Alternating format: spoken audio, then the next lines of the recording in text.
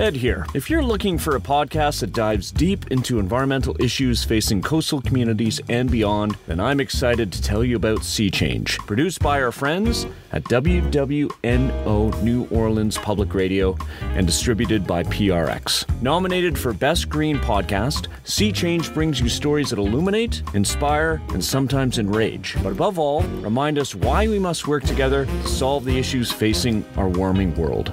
We have a lot to save, and we have a lot of solutions. It's time to talk about a sea change. Listen to new episodes of Sea Change every other Tuesday, wherever you get your podcasts.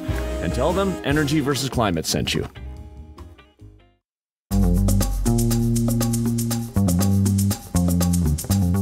Hi, I'm Ed Whittingham, and you're listening to Energy versus Climate, the show where my co host David Keith, Sara Hastings Simon, and I debate today's energy challenges, highlighting the Canadian context. On May 7th, we recorded a live webinar with Dr. Shirley Meng, a professor at the Pritzker School of Molecular Engineering, University of Chicago, and the chief scientist at the Argonne Collaborative Center for Energy Storage Sciences. We called the show Fully Charged Battery Storage and How to Make It Better.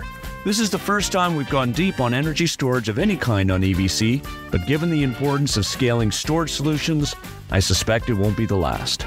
We had a great conversation with Shirley, and I hope you'll enjoy. Now, here's the show. So, Shirley, let's get to it. You know, I think my first experience with batteries, I really remember, was plugging D cell batteries into my first ghetto blaster, you know, a stereo as a kid, so I could walk around town with it on my shoulder blasting the police or ACDC or whatever it was. But that is just one application. Tell us about the battery types that you work on, the ones that are used for energy storage. What are those types specifically? My uh, PhD started with uh, trying to find a replacement of uh, cobalt in lithium ion batteries um, in early 2000s. So my primary research focus is on lithium ion batteries, how to make them last longer and be more powerful. Particularly recent 10 years, we are all looking at beyond the lithium ion battery technologies, such as lithium metal batteries, uh, sodium ion batteries, and then solid state batteries. Very exciting. I think we will have variety of choices for people uh, who are interested in getting mobile energies uh, for different applications. I think, you know, we talked about electric vehicles, grids, and I think people should also think about uh, possibly flying cars. I certainly hope that uh, in my lifetime, flying cars will be a reality because of the electrification. You know, depend on what applications we will design the batteries that will enable the applications. I personally underestimate prevalence of batteries in our society. And so you have said we need batteries, lots of them. So given the challenges we have with electrifying our economies and decarbonization, what's the magnitude of the increase of capacity that we need? Is this a 10x increase globally? Is this a 100x? Like, can, can, can you put a quantum to it for us? At the moment, there's only two battery technologies that actually reach the terawatt hour scale. Terawatt hour is a unit that the battery people use. It's like a jargon, but if I do it for the chemists and the physicists, it's basically petajoule.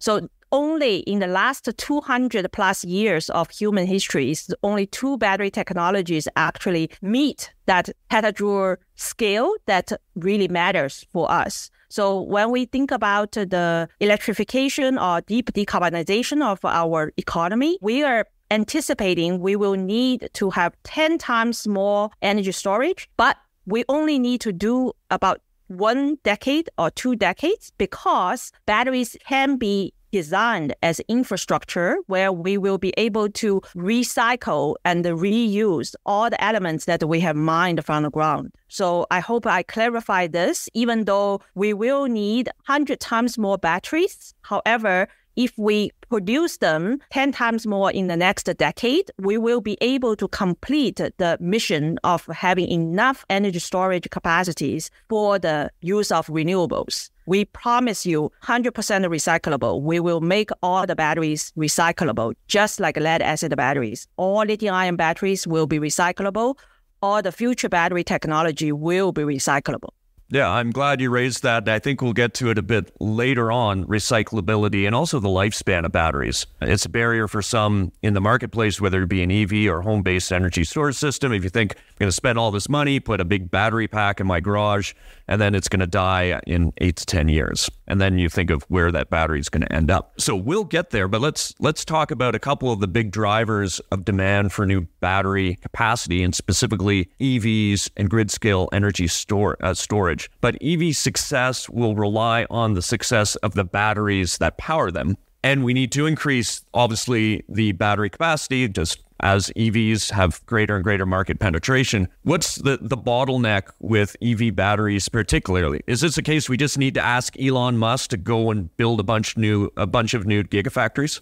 First of all, I think it's the engineers that building the gigafactories, not Elon. He you know, is a good business person who enabled that. The second of all, I would say that the major bottleneck, in my opinion, uh, I think there's three major bottlenecks that we have to address. The first one is really to think about the affordability. Um, I think let's be honest that the price of the EV still not at the level where a lot of people who can recognize EV is affordable choice. The reason being that a lot of the battery production, the lack of varieties in the battery choice. For instance, uh, countries like India, why would we need 300 miles per drive? Because if you have been to India, you know you can barely move in the city. However, lithium ion battery should not be the top choices, but we don't have the alternative like sodium ion batteries that probably per charge is only 200 miles or 150 miles. I think the lower price electric vehicle is still very limited,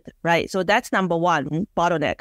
The second bottleneck I would say is really about the infrastructure of charging. We were in David and I probably both experienced the extreme cold in early this winter that a lot of the Tesla cars couldn't charge on time and uh, that is actually infrastructure problem it's not the battery problem in per se because norway is actually having cold weather but they were able to handle the situation with really good infrastructure for charging so that I think the second bottleneck uh, must be resolved. I think the third bottleneck, really uh, for me, the most difficult part is that I do see a concerted effort in the mainstream media that keep emphasizing the downside of the EVs, even though EV is a nascent technologies. And that constant reminder to the public about the disadvantage of the EV uh, is not helping. In my opinion, that is a bottleneck. For nascent technologies, there's always troubles and challenges,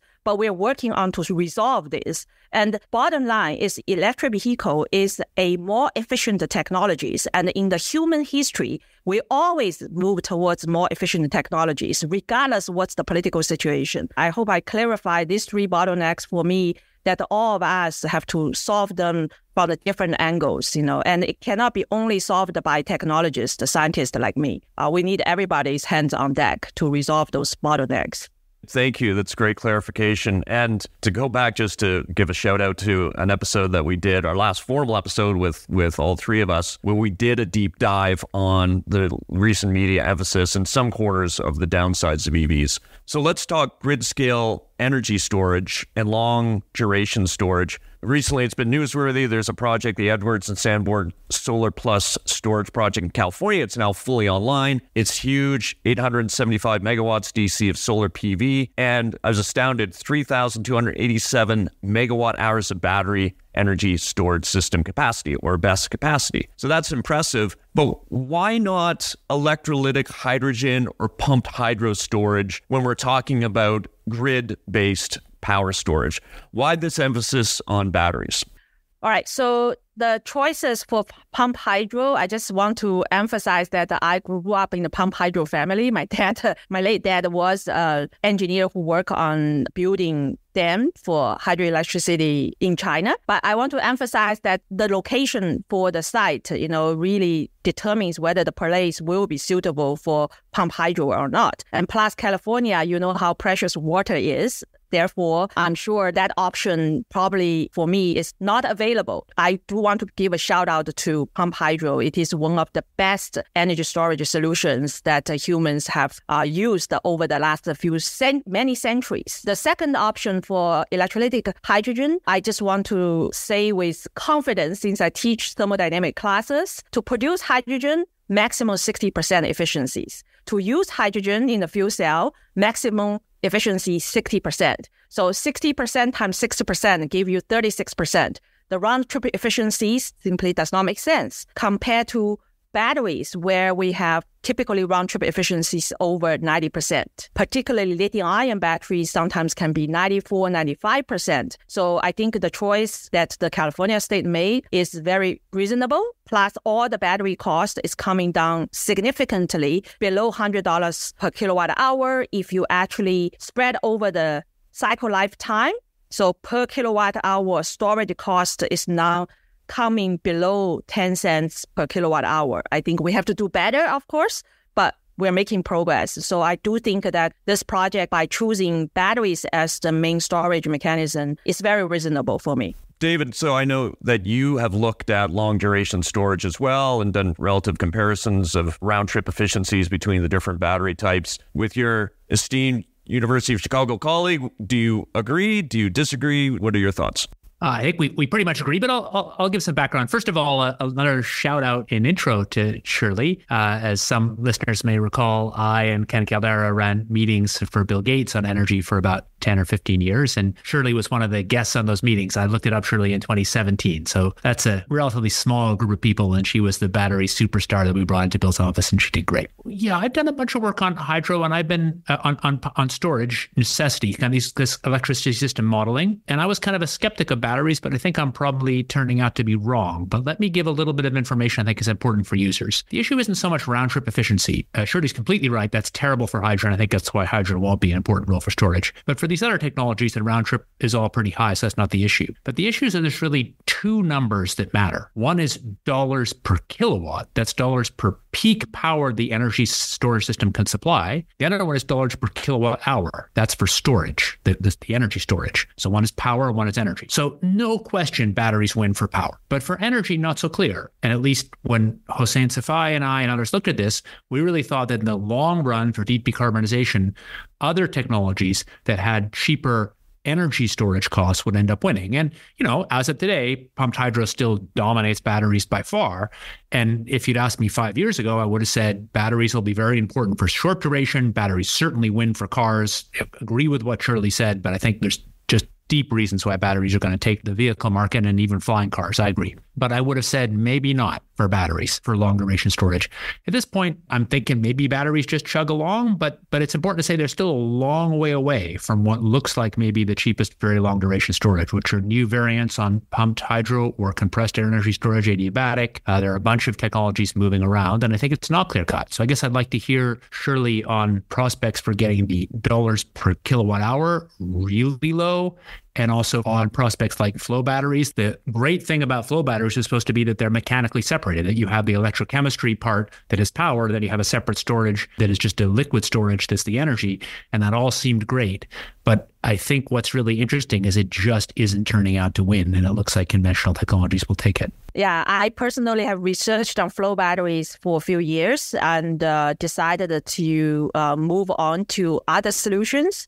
Uh, I think one of the challenges for flow batteries is that when there's a lot of moving parts, the mechanical wear and tear typically make things last less than 10 years.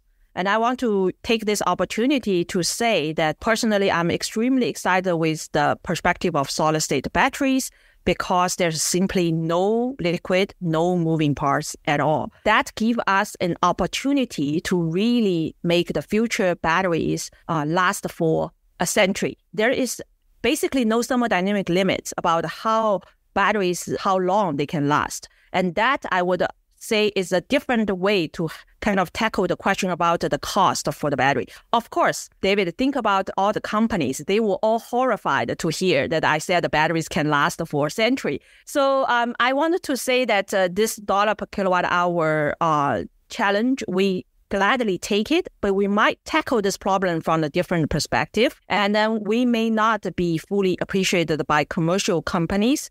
But I certainly hope that uh, people who are building infrastructure, architects, you know, governments who are thinking about building roads, and you know, we talked about the national stockpile of petroleum, and please think about the national stockpile of batteries. Because if once the scientists crack the problems of we can make batteries last for decades or even century, we can really enable things that previously unthinkable for the batteries. And that naturally lower the cost for the storage. And I think that's for me the most exciting perspective for battery storage.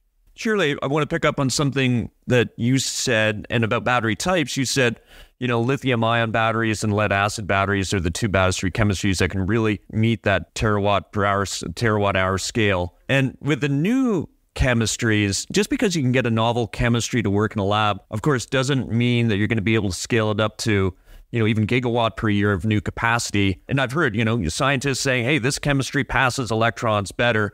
But then how do you take that and produce them at scale without requiring 10 to 15 years from desktop to factory? And I want to throw to Sara because Sara, you've looked at that. Maybe you can talk a little bit about the commercial, the, the desktop to commercialization challenges. And this is something that we deal with on EVC all the time with people coming in with novel new energy technology pathways. It's like great, but then how do you get to that massive deployment and time frame that we need given the electrification and decarbonization challenges? Over to you, Sara. Yeah, and I mean, I think about in particular the challenge of, and and I think Shirley has more to say probably on the process of really going from benchtop to to kind of commercial scale. But one of the challenges there on the commercial side is what are you competing against, right? And we're now in a world where lithium ion for, as you were mentioning, Ed, you know, we were willing to pay quite a lot of money for lithium ion batteries for our cell phones and for our computers because we didn't need such large ones, and they were providing a service that you know we sort of we we, the collective, you know, economy was willing to pay a fair amount of money for, right? Uh, having a mobile phone that lasts a certain amount of time or having a, a laptop battery that you can use, um, you know, untethered from the wall. It's not understated to say that that has played a big role in in really enabling um, sort of lithium ion batteries to move ahead and then end up kind of outperforming Meta-B when it comes to things like EV and grid scale storage to have that head start because anything that comes in, you're not starting sort of the race from the beginning where both technologies were, you know, nascent and you you could maybe even pick a, a different winner perhaps if you had started from the same point, but you're having to start any new battery chemistry against a technology that has already had quite some time to to develop and commercialize. You know, I don't think that means that, that we won't get other technologies coming out, but I do think that lithium ion now you know, when I think about sort of constraints and and the degree to which lithium availability, you know, is or isn't really a, a constraint to scaling, there's a lot of ways where all the moving parts of energy transition, I think, also change the game there too, right? One of the big factors that goes into kind of the underlying price of metals and minerals. So I'm not talking about, you know, what we've seen the dramatic fluctuations, of course, with rising lithium prices in recent years as you have sort of a, a spike in demand demand and, and supply has to catch up. But sort of the fundamental cost drivers of producing metals and minerals, a big piece of that is really the cost of the energy that it takes to get them out of the ground and to process them. And so as you go through an energy transition where you potentially lower the sort of cost of energy on the bulk side, when you think about low cost sources like renewables, there can be a bit of a feedback loop to,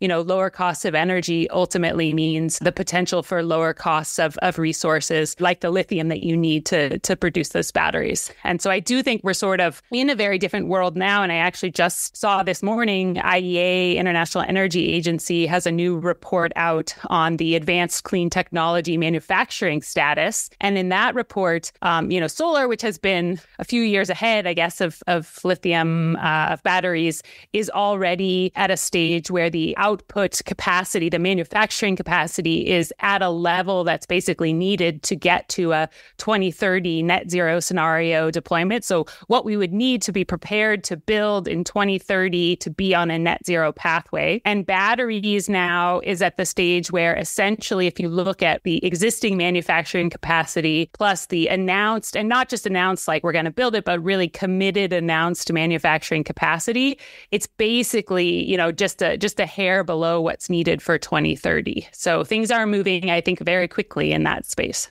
Yeah, and for things to move quickly, just with batteries generally, we, we don't have to, because you mentioned as, as a bottleneck, Shirley, that we don't have to entirely wholesale build new infrastructure, but we can build upon the existing infrastructure that we have. So I think of not just lithium ion and lead acid, but sodium batteries, metal air batteries, solid state batteries, or even lithium iron phosphate batteries. To what degree, Shirley, can we use the existing infrastructure that's been designed specifically for lithium ion batteries? So there's a few things that uh, I would like to take the opportunity to clarify. The first of all is that the battery technologies never compete with each other. Never ever think about that lithium ion batteries will be replaced. It will not be. All right. So lead acid batteries is over 160 years. Um, it was invented the 1860s. It took the humans about 100 years to scale it to terawatt hour. Lithium ion batteries was first commercialized in the 1990s and took us 30 years to go to terawatt hour. So rest assured, okay?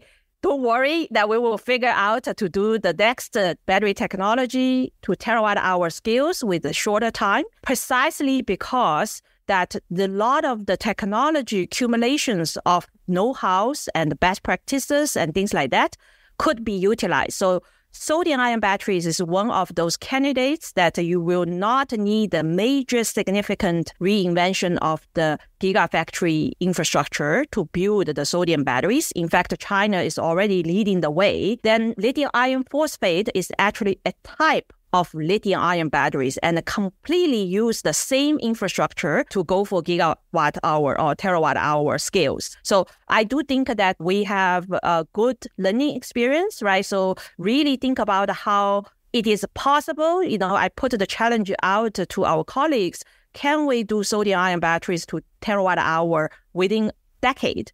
And many think it's impossible because of the challenge with mining. So, Sara, you're absolutely right. The way how we mine uh, minerals, the way how we, uh, you know, have globalized the entire supply chain and the carbon footprint comes with this global supply chain and then eventually how we manufacture the batteries. Uh, who says the current gigawatt factory is the best? In fact, Tesla, Elon said 2019 about the whole dry process will completely revolutionize the manufacturing process, shorten the steps, lower the carbon footprint, lower the cost. And we're not there yet because there were a lot of doubts, a lot of difficulties that we have to uh, overcome. Um, so that I think uh, uh, really important for all of us to realize that the battery technologies, new types will enrich the variety and the, choices that people will have for battery technology. The second important thing I would say, IEA reports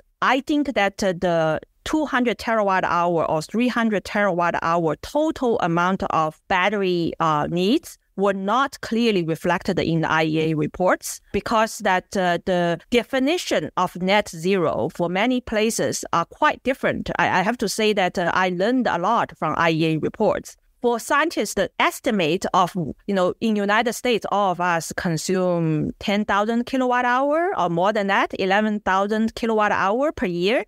And I'm thinking more about how we meet that demand and to meet that quality of life that we provide the amount of energy in green electrons. And battery itself is not a renewable. We really don't care if the electrons comes from the fossil fuel source or from the renewable source. What we provide is the ability for people to have this flexibility. So some countries will move towards renewables faster. Some countries might lag behind. But we want to make sure that the infrastructure is there for countries who are ready to transit. We are part of the energy transition network. We are the bricks. We're the we're the foundations for that transition to happen. And I think every country have to invest in the infrastructure if you want that transition to happen. And I cannot predict uh, different countries when the transition precisely will happen, but I think many countries won't be able to do it in 2030. It's quite clear, regardless what the politician says, that we will have to have a longer view. You know, maybe by 2050, many industrialized countries will be able to do energy transition. Uh, and I hope we, by that time, we have enough batteries to actually enable that transition. Shirley, I want to pick up on something that you just said that every country needs to invest in in that battery infrastructure. And I want to talk about battery cells in particular and some of the geopolitics around it. You know, almost all the battery cells in the world are coming from Asia. You know, no one in North America is producing lithium in the quantity that is needed. There's a Canadian company, it's called First Phosphate, that's doing some manufacturing. But I often hear from battery proponents in North America that you know, we want to restore manufacturing capacity here. We want to reshore manufacturing. Like, and I hear the same thing about renewables components. We want to reshore it here in North America. We want to take the best techniques that come from Asia, bring them here, add in our Canadian ingenuity or our American ingenuity, work with our companies that are already leading, whether it be Rockwell or Siemens or Johnson Controls or whomever. And then we're going to add in the computing, the high end scanning, the recycling, and we'll leapfrog, particularly China, in terms of manufacturing. But will we ever be able to do that on price? And if price is the single most important thing to commercialization, then I worry and I question, just like with renewables components, have we just lost the price game? So, and I'd love to bring in David and Sara as well, because this is a, a wonderful and prickly conversation. Should we bother? Should we really push for this reshoring of, of battery, not just cells, but battery components here in uh, North America? That's a, I would say, a sensitive question. I hope I don't offend anyone, um, but I will give my honest answer. In the 90s, uh, when lithium-ion batteries was first uh, commercialized by Japanese company Sony, I think that the U.S. seriously looked at the possibility for manufacturing domestically the decision was not to do it because of the profit margin was really, really thin. We were talking about things like less than 10% profit margin. So it is actually corporate decisions back in 30 years ago not to pursue manufacturing. And you are right. If we do it now, how we compete? Right. So number one, I want to give a real shout out to all my colleagues in Asia because South Korea, Japan, China, basically Japan has always been the technology leaders in the battery field. South Korean did extremely well. I think uh, considering that uh, LG, Samsung, SK in the country of that size, they actually are doing really great work in the lithium ion battery production. And China, of course, it's a national priority for them to dominate in EV because China never succeeded in making internal combustion engine cars very well. So EV is the opportunity to take over the leadership, right? So I think we should recognize that they achieve dominance through persistency in industrial policies and also investment in talents, in workforce, in the infrastructure of manufacturing. So do shall we do it here? So first of all, Canadian company, I do want to say Hydro-Quebec actually has been really doing a lot of the battery research. In fact, the lithium iron phosphate, if you trace back, Hydro-Quebec is one of the pioneers in making the lithium iron phosphate chemistries work. I believe if every country recognizes that they will have to build their battery infrastructure, just like you know you will have to build your infrastructure for water infrastructure, for petroleum, for instance. Like you have to do it because the whole country relies on the infrastructure to function. So I think if we change the mindset, infrastructure building, that it will become less competitive in terms of thinking that the price has to be low. It's only a commodity. And I think that uh, um, I will invite David and Sara to come to debate this topic because the problem is that the battery is only considered as commodity disposable, you know, something that's not critical for national security, for the society's well being. And I really want that mindset to change. If I accomplish anything in today's podcast, I hope I, my message is clear.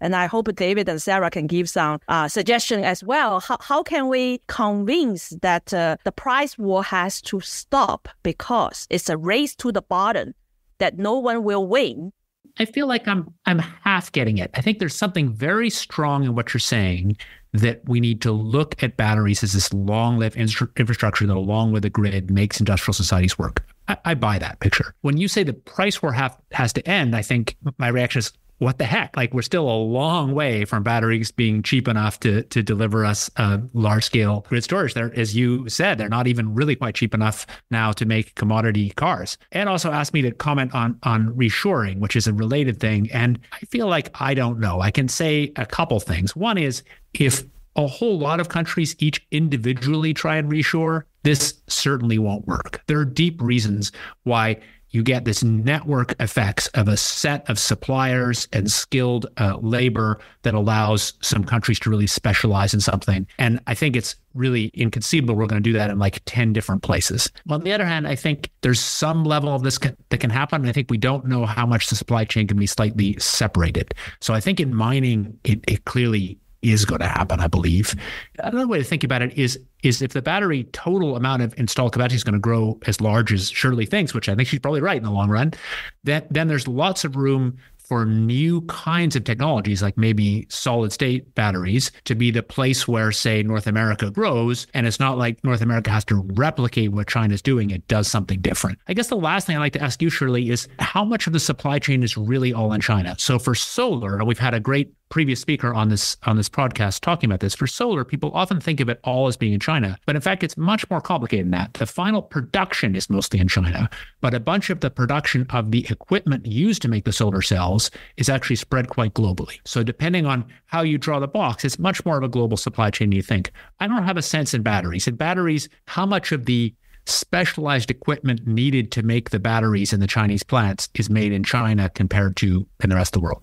Yeah, the you are right. The supply chain just similar as the solar industry. The mineral refinery is mostly in China because it's probably the simply biggest emitter and the polluter in the process. So we do have a lot of minerals, including Canada, have a lot of minerals that's needed in the supply chain. Australia I think people know most of the nickel come from Indonesia, and it really did not follow quite a lot of the environmental regulations um, for those nickel. Someone can do a deep dive on the machinery.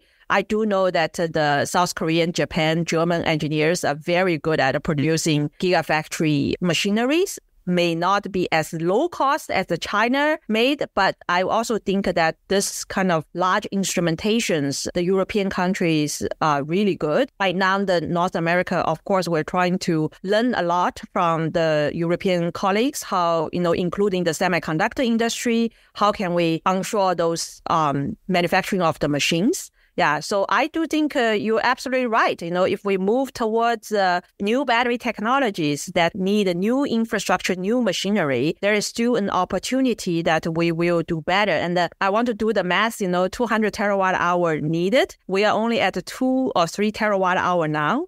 One or two percent down with the game. Who's the winner? And by the way, you know, if people really want to pick winners, I'm hoping that uh, there will be multiple winners in this game.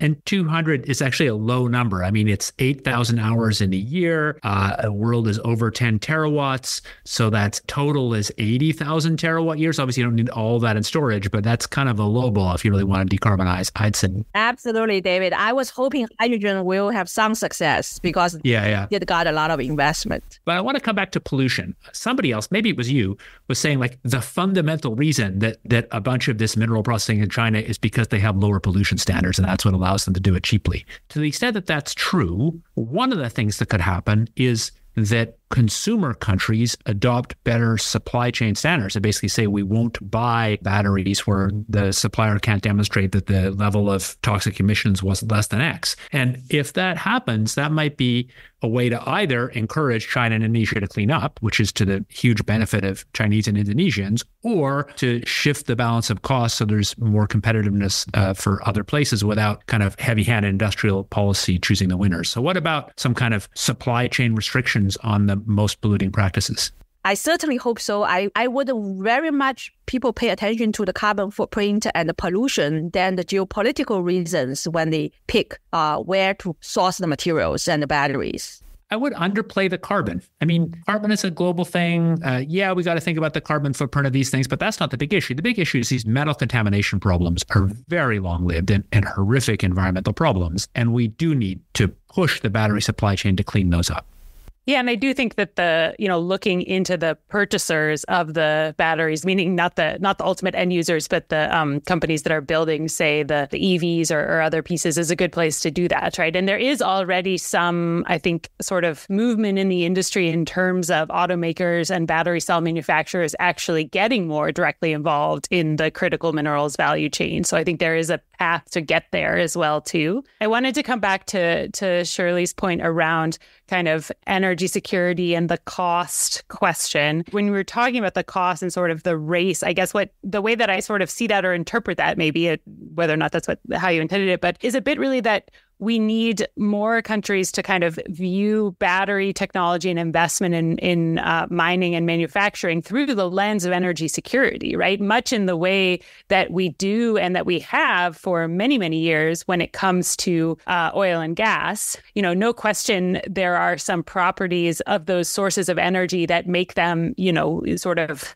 well suited to be to be a driver of, of our economy. But certainly there have been massive, massive investments by the US government and by other governments, sort of all the way deep into kind of geopolitical relationships that really stem from trying to ensure energy security. You know, and I think we have to be a little bit careful in in how much we sort of carry over some of the lessons of and, and the understanding of the way that those markets develop, right? And I think there's some lessons that do apply and some that don't don't. I sometimes hear comments that almost imply like we're stuck with the amount of lithium that we mine today, as if we haven't, you know, in the oil and gas industry demonstrated that we're able to, you know, when there is a market for it, find new and and ways to to extract more complicated resources. So I think there's a lesson there that really does carry over into the battery space. It cuts both ways, right? On the one hand, the overall market size for lithium is going to be smaller than the overall market for oil. But that said,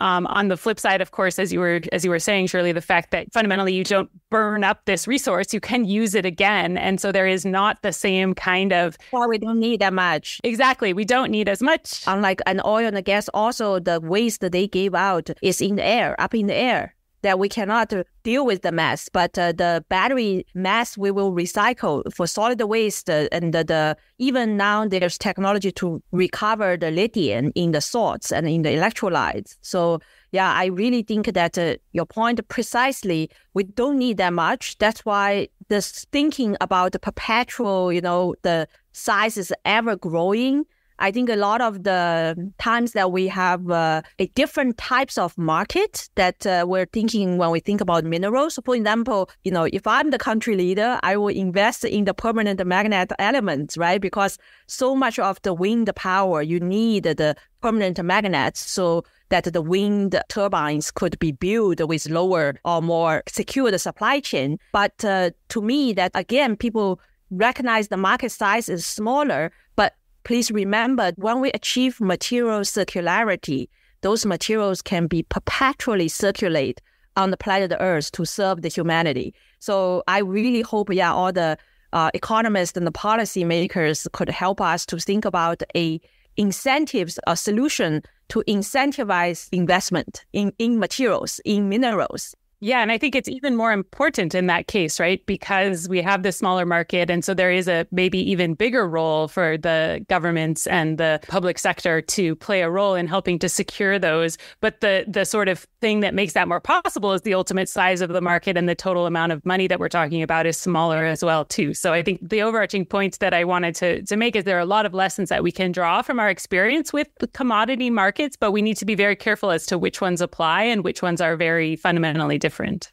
Yeah, and Shirley on this show, we often make the point there's no free lunch when it comes to energy, and there certainly is no free lunch when it comes to critical elements like lithium and cobalt and copper. Another reoccurring theme, and certainly in the last year and a half, uh, has been the Inflation Reduction Act and massive driver of investment that it has become in the U.S. The Canadian government's made a big bet on the EV supply chain. It's invested and provide support and subsidies for a few big factories, and two of them dedicated battery factories. It's got an investment tax credit for energy storage associated with renewable electricity. I think IRA's approach has been a bit different. And I, I think it's there's now domestic content requirements associated with it and incentives for integration. So you can still be getting your cells overseas from China, but to your point about renewables, David, it's kind of depends on where it's assembled. And that's the, the support in IRAs in the actual assembly and wanting to incentivize more of the actual battery manufacturing. Is my understanding right? I haven't paid too much attention for the in the Inflation Reduction Act because the most of the academic institutions uh, we don't really benefit from the industrials policy, but through my interaction with the companies and the industrial partners, I think everybody are very excited, but then at the same time worried because there's a lot of fine prints in the in the uh, IRA. You know what you can qualify. Um, you know how you can qualify. For instance, our German colleagues, right? You know some of the EVs they think they can qualify for the tax credit, but then turns out that uh, you know they had to basically give the customer discount because actually it was not qualified. Uh, I just want to say one thing. It's incredible, incredible that the U.S. established the Inflation Reduction Act. That some people thought it would never happen, but I would say that when that passed uh, in the U.S. government, we thought, okay, you know that this is the time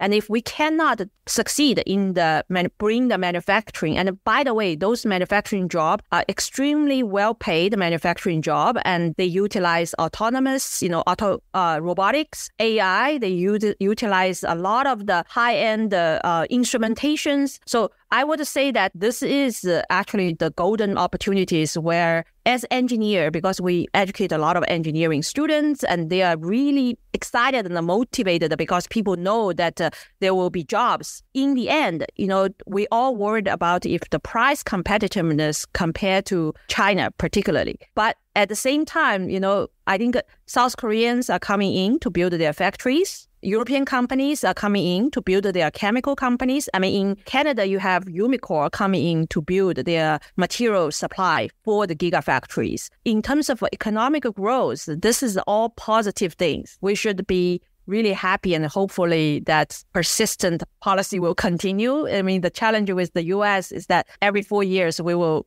okay, is it going to continue or is it going to change? The reason that the Asians did so well for the EV and the battery manufacturing, the policy was extremely persistent for 20 years.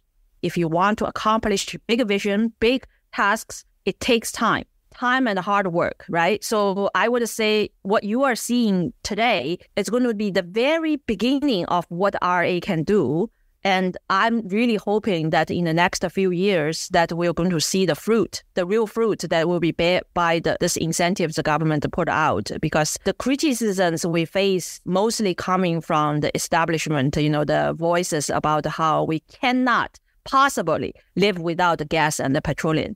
And uh, I just want to say that in my mind, the vision is very clear.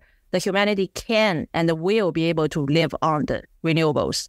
Yeah, you mentioned the U.S. election. People are looking ahead to November 5th to see the outcome for things like not just battery policy. It will have obviously momentous consequences for the world. Uh, let's get the questions here. We've got a question from Lal uh, Triton. We hear about lithium ion battery fires regularly. And the references here, sorry, the most common sodium ion battery types seem to be Prussian blue cathode which is made with iron and cyanide with transition metal oxides running second. Is there a risk of cyanide release from this chemistry in the event of some significant incident? So this is a weedy question, but going back to the fires, I've also heard that as I mentioned before, lithium iron phosphate batteries, they replace the use of nickel and cobalt with iron phosphate, and that helps to avoid some of the nasty upstream environmental and social problems. And it also has less risk of catching on fire.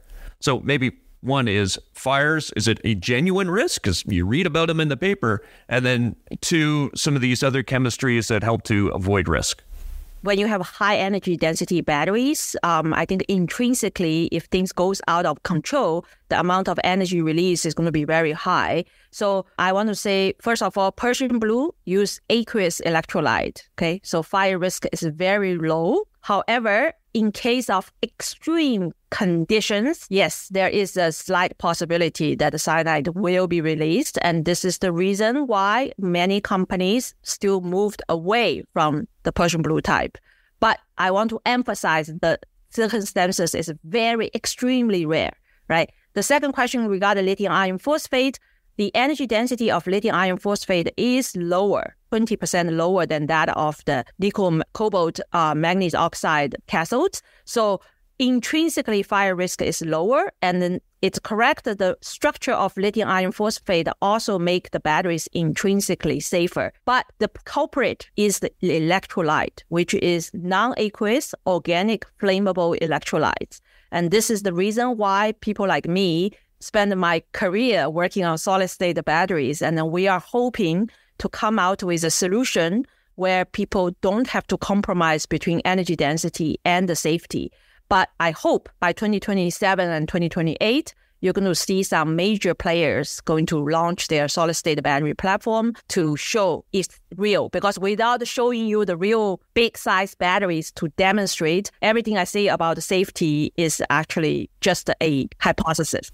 I think you're underselling safety. You said the battery energy densities were very high, but of course they're still 10 times lower to 20 times lower, the best than gasoline. It's true they're unstable, but they're less unstable than gasoline. So I think on a comparative basis, the difference between a liquid that can evaporate easily, it's flammable with a 10 times higher energy density, and a battery that occasionally goes wrong, it's pretty clear cut where the fire risks are. It's not batteries.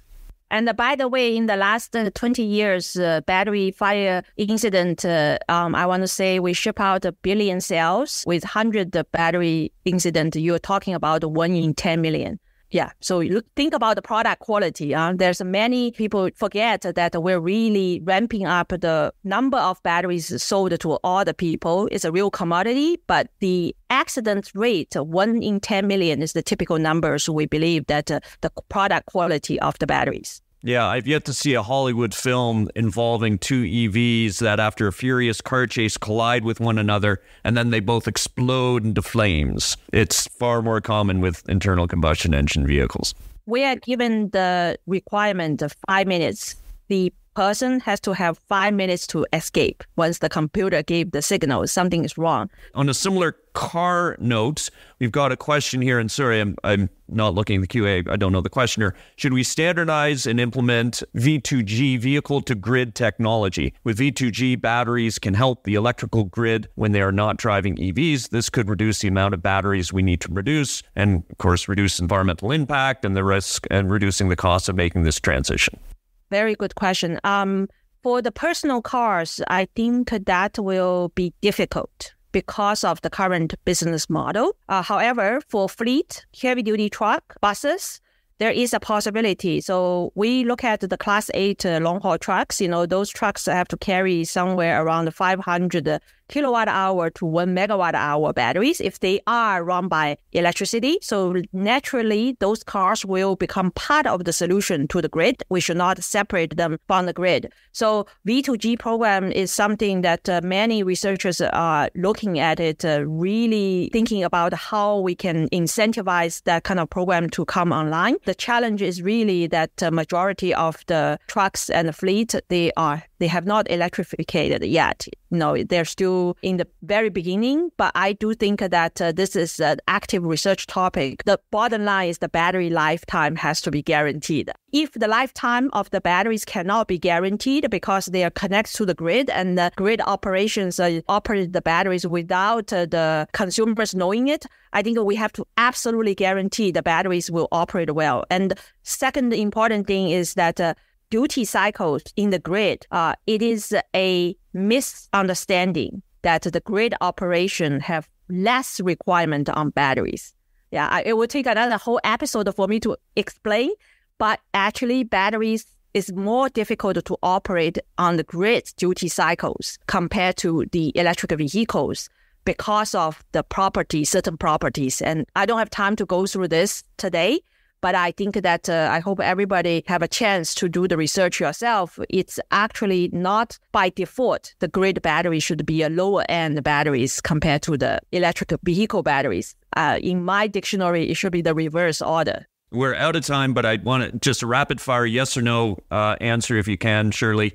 Will batteries play a prominent role in developing grids in less developed countries, say parts of sub Saharan Africa or parts that are just building up their grids now? Or will they be too unaffordable to play a significant role in the short term?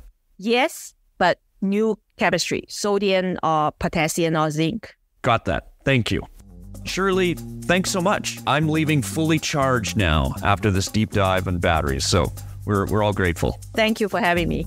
Thanks for listening to Energy versus Climate. The show is created by David Keith, Sara Hastings Simon, and me, Ed Whittingham and produced by Emma Tandon, with help from Crystal Hickey, Serena Gibson, and Talia Grenau. Our title and show music is The Wind Up by Brian Lips. This season of Energy vs. Climate is produced with support from the University of Calgary's Office of the Vice President, Research, and the university's Global Research Initiative. Further support comes from the Trache Family Foundation, the North Family Foundation, and you, our generous listeners. Sign up for updates and exclusive webinar access at energyversusclimate.com and review and rate us on your favorite podcast platform.